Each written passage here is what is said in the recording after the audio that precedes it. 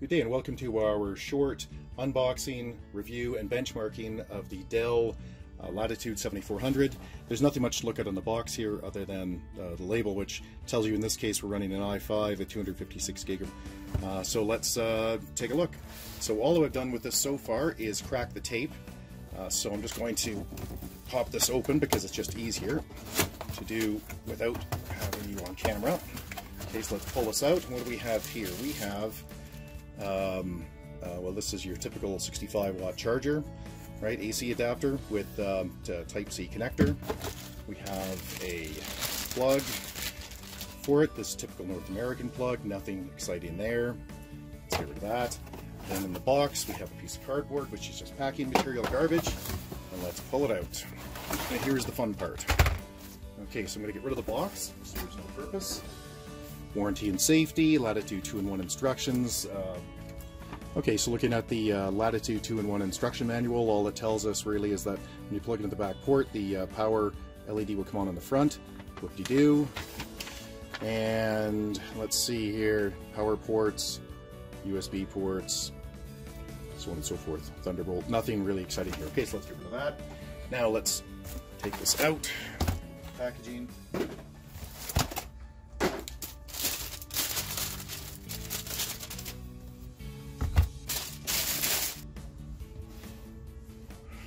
Okay, so let's open this up.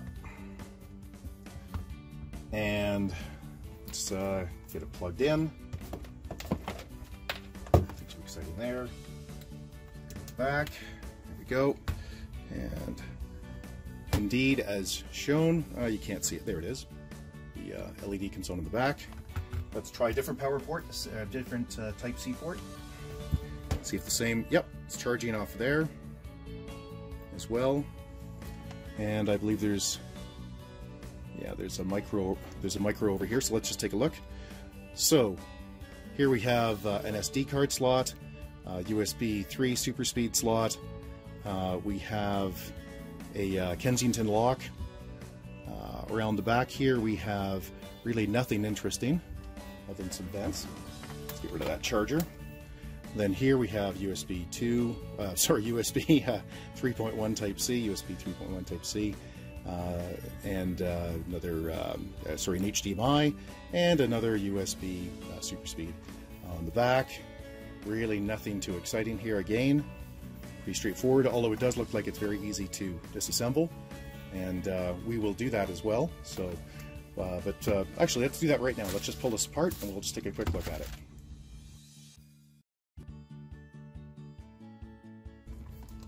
Okay, so it looks like there's a couple of pry points around here, but uh, I found it easiest just to go to the back here and pull up one of these screws. So anyway, so that's what I've done, and this just pops off. Let's just take a look at what's in here.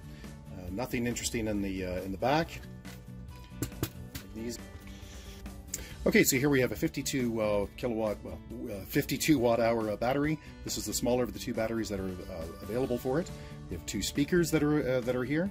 We have the CPU fan with a, a heat pipe that uh, takes it out to here to cool it off. The CPU is obviously under there. this is the M.2 slot, which is where the hard drive is. I can just barely, I don't want to pry it up and show you more than that. It looks like the memory must be either jammed underneath this plate Okay, so let's pop this. Okay, so uh, this clips in a little differently than what you might expect, and uh, you won't be able to get in unless you do it properly. So the uh, front have hooks. I don't know whether you can see those clearly or not, but they are hooked in, so you need to hook it in the front. And I thought, same for the sides. Uh, well, sorry, I thought the sides were just clipped in, but they're not. They also have hooks. So what you need to do is put it in this way. So I'm going to do that. I'm start here, tip it in a little bit, tip down and slide it forward.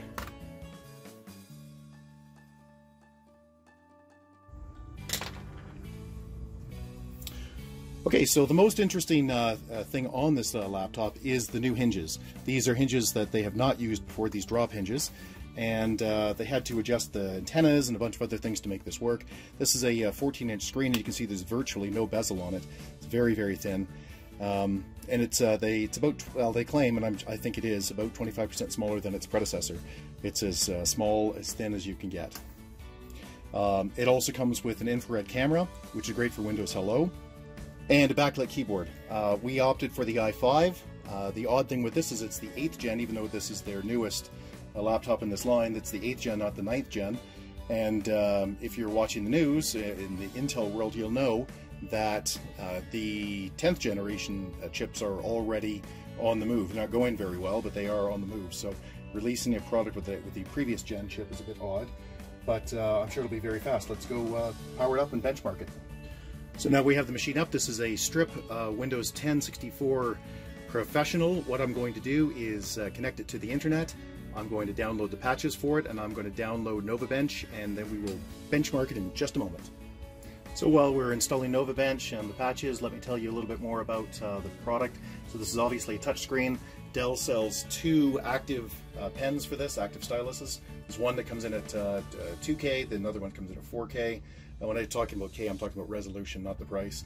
One's about 50 bucks, a cheaper one. The other one's about 75 bucks.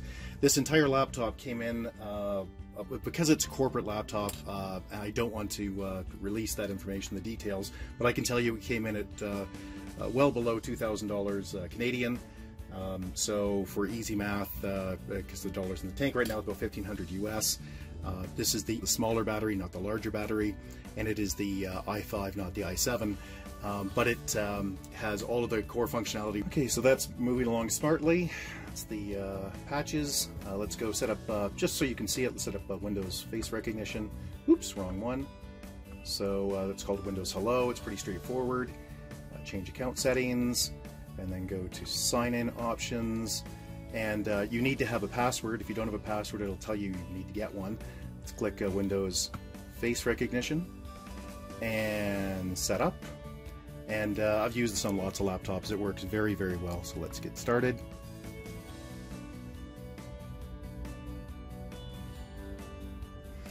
It always likes to have a pin. Set up a pin, you have to enter your password. Can see, mine's nothing because I'm going to wipe this machine. This is not a real setup, so. And you probably want to tilt your head, get it on different angles, move the screen, and just play around in general. Okay, so that's enough for now.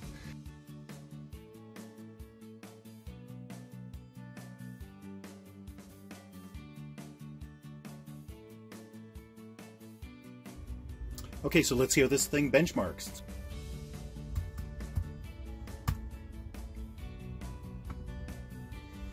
Now we're going to run this uh, three times. I should always run it three times. In this case, I'm running it with Defender still turned on uh, because I forgot to turn it off, but I'll turn it off in the next iteration. and uh, I'm not going to make you sit here and watch it. Let's uh, I'll speed this up.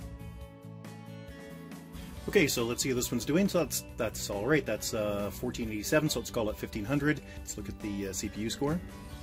So there we go. Now I'm going to go turn off uh, Defender here. And your settings off. There we go. Let's run this again. This will be faster the second time regardless because it's always faster the second time. T1542, let's run it again. Okay, so you can see here the uh, speeds are very nice. Uh, really nothing to uh, nothing to uh, scream about here. Um, uh, I don't think there's anything that I would want with this that I would, don't already have. So the uh, disk speeds are very fast. The uh, CPU speeds are also very fast. Now, when I say very fast, I'm comparing them to, well, specifically the disk score, disk score uh, comparing to the one terabyte Crucial P1, which is one we've tested extensively in previous videos. Uh, and the CPU score, that's about as fast as the uh, CPUs that are included with the uh, i5s and the Dell Optiplex 5070s, which are brand new, and um, also the previous year's model of the Dell 5490 laptop, the Latitude. Um, yeah, so basically there's nothing wanting with this. You should be very happy with it. Okay, so before we wrap this up, let's go over the highlights. So this is an all aluminum chassis, which uh, brings the unit in at 2.9 pounds.